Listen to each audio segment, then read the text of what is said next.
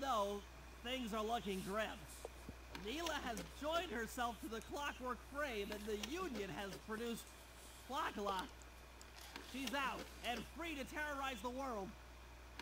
This blimp is still in motion to Paris. I can only assume Arpeggio's autopilot will activate the hate hypnosis light show. If that happens, there will be no stopping Clockla. She'll be immortal. But we still have a chance. In her new form, she'll need to draw a lot of energy from this blimp's engines to stay strong. If we can disable the engines, that should be enough to weaken her to a state in which we can attack. Getting at these engines will require all three of us to work together in perfect harmony. We've pulled off some tough jobs in the past, but they were just a warm-up round for what we'll be going through tonight. Alrighty, guys. So, um, lot basically the whole idea, um, the of the missions that we're going to be getting during this episode um, is to, uh, you know, go at these engines. There's four of them, so I believe, um, you know, we're going to have to take all four of them out. And I think, I don't know if it's one mission per engine. It might be there's a mission out right now for Sly, Bentley, and Murray, so um, if I can defeat this enemy, I can show you guys. There we go. Alright, so we've got all the all the writing is up there. Alright, I guess I have to jump down to see it.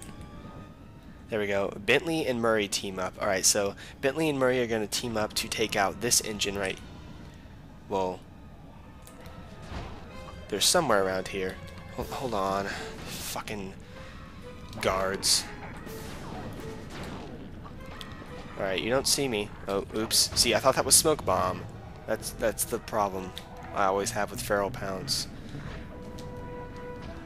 You know what, I'm just gonna run away. This is really annoying. I hate when guards they're interrupting my my talking. Anyways, Bentley and Murray are gonna team up over there and do that.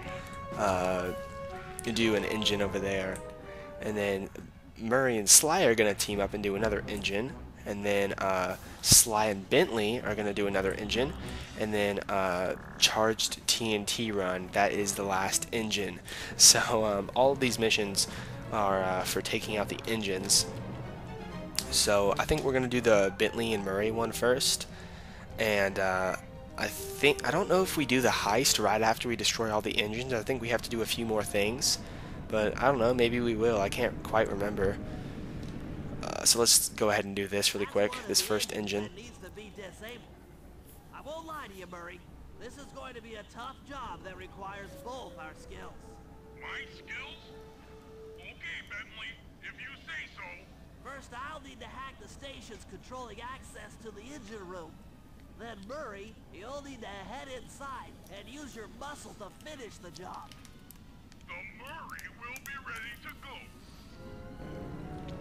Alright, so I have to hack. I have to do some more hacking, as always. And, um, alright, I've got my check bat, my jetpack. Um, what, what did I just call it? Jetpack? What the hell? Anyways, we've got to do some more hacking in this mission with Bentley, and then I guess after we hack, it opens up the engine for Murray to go inside and destroy everything. And okay, this is where the hacking gets really good and really actually pretty fun, is when uh, your bullets start being able to bounce. Um, uh, there's going to be a lot more hacking. There's there's a ton of hacking in Sly 3, guys. Uh, Alright, so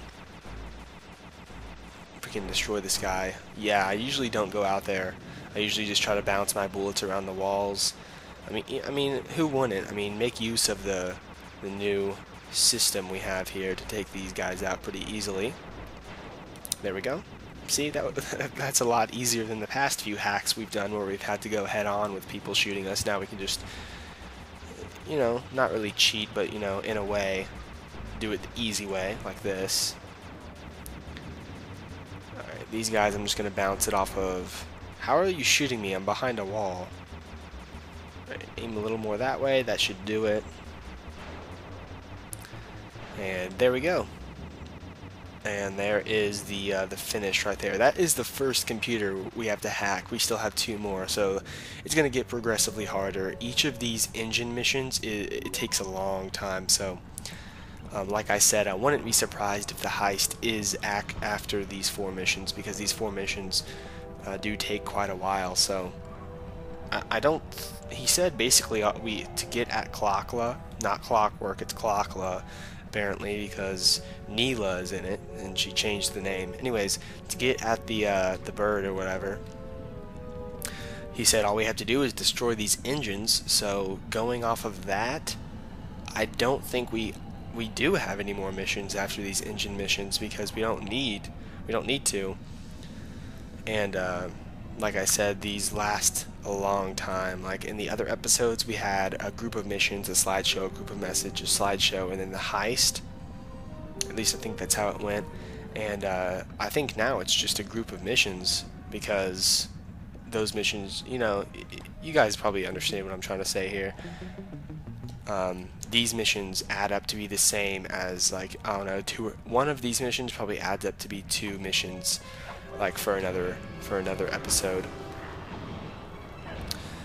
These annoying guards. Yeah you have it this makes no sense. These these guards have jetpacks but they die if they fly off the edge. They can they can fly up using their jetpack. Anyways okay here's the computer down here. Let's start hacking this one. This one's probably going to be a bit harder. I think they're all different though, they're not designed the same way. Yeah, this one we've got, um, we actually have uh, slanted walls, so we can bounce the bullets off a little bit easier. We can do this.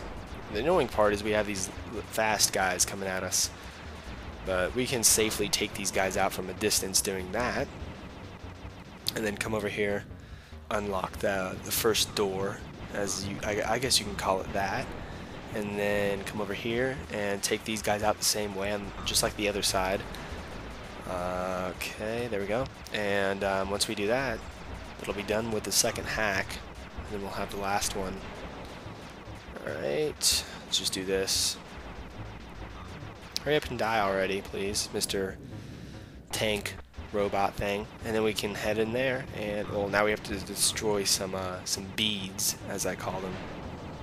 These these little fast guys actually do get destroyed pretty quickly though, so they're they're not that bad. Yeah, they they get destroyed really quickly. So I'm not going to focus on them. I'm just going to go do this really quick, and we're done with the second computer. And we'll head to the third one, which is over there. I guess is I guess this is the order they want us to go in because uh, some of the like the computers weren't uh, showing up on my Binocucom until after I finished uh, the other one. So, like I said, after we finish hacking all of these computers, it will open up the first engine, and Murray can head inside and do his part. Well, here's the engine door right here. I think this is the right engine. I mean, the computer is right next to it, so I'm guessing it goes with that one. But yeah, we have the four missions. This first one is uh, Bentley and uh, Murray. But, uh, four missions for four engines. they do get, uh, some of them are kind of tricky and do take, they do take a while, like I said. This hack is my bullet, whoa, my bullets can push him back like that? I didn't know that. My bullets are just pushing him back. So I'm trying to use the slanted walls to the best of my ability here. These guys have, yeah, basically you just have to keep pushing up every time you destroy a group of them. And you'll never destroy all of them. There's always going to be, you kind of just have to push up here at the end and go in like that. That was pretty easy. And now Murray should head over here. Oh, there he is. And now it is up to Murray. Um, let's see what we've got to do. Looks like you'll need to lift all those giant cylinders. Once they're locked in the up position, you'll be able to take them out from the top level. Alright, so we have to go around and lift all these like Sly said. And then, uh, whoa, okay, I guess I can't uh, destroy an engine without there being some guards defending it. So let's take them out. Uh, okay. Just keep lifting. These look like, I guess they're plugins.